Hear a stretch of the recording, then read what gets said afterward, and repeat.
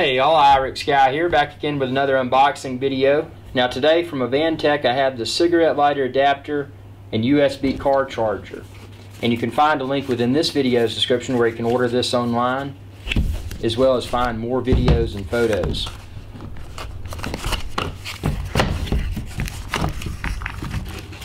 That's neat. You've got the uh, you got the DC adapter, cigarette style DC plug attached to the uh, to the unit.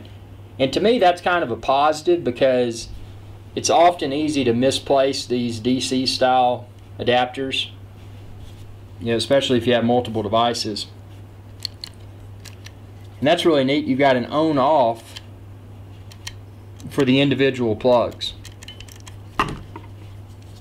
So what this enables you to do is take your one DC style plug in your car, boat, RV, etc. and convert it into three. So you just plug this in and now you've got three instead of just one. So that's great. And in addition to that, you've got a USB port. So if you're charging maybe a, uh, an iPhone, iPad, etc., you've got that built in. You don't even have to plug it into a into a plug like this and then USB off of that. You just plug your USB directly into that. So really good design. I like the uh, the blue color of this. You can see how it's kind of blue on the inside there. Uh, this really stands out uh, among some of the other uh, some of the other similar adapters that I've used in the past, and the, and the build quality is very nice. It's not a uh, it's not a flimsy plastic like one might expect.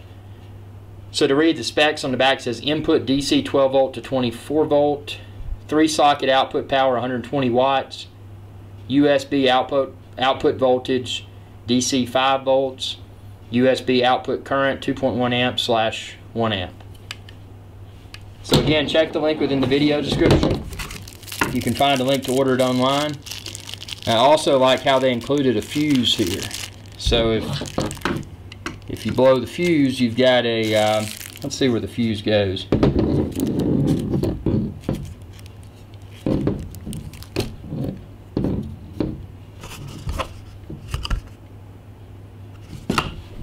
I don't know. Maybe it's something I won't need, but it at least it came with a fuse in case in case it blew. I guess it's I bet it's probably inside of this. Yeah, there it is. See, there's the fuse right there. So that answers that question. So we got a backup fuse. So thanks for watching, and again, check the link within the video's description. You can find uh, more photos as well as a link to order this online. And y'all have a good day, and be sure to subscribe, youtube.com forward slash IRIX guy.